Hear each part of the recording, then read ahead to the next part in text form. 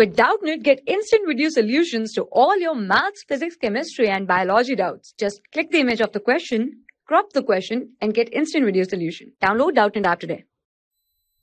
Hi everyone. Let's take a question. The question says that which of the following is a characteristic of the cathode in a voltaic cell? So first let us know about the voltaic cell. It consists of two electrodes that is anode and cathode.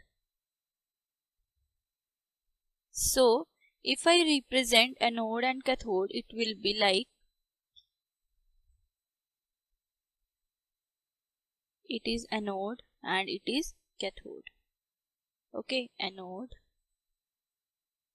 cathode. So in a cell what happens? It is negative and it is positive.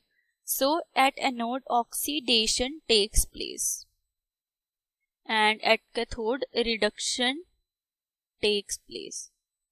Okay, so in a cell what happens? There is transfer of electrons. Electron transfer from where? Anode to cathode. So what will happen if there is electron transfer at cathode then the metal or the cathode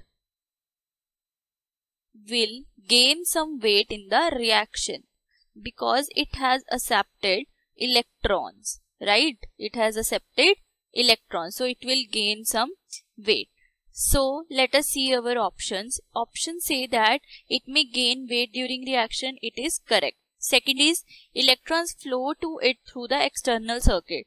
So if we see this structure or diagram, here we can see that electrons are flowing from the external circuit from anode to cathode. So this is also our correct statement. Now third is it is where oxidation occurs. No, it is not correct because at cathode reduction takes place. At cathode reduction takes place. It receives electrons from ions in solution. It is also incorrect because it receives electrons from the anode.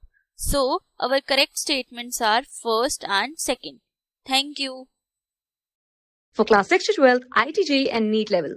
Trusted by more than 5 crore students. Download Doubtnut App today.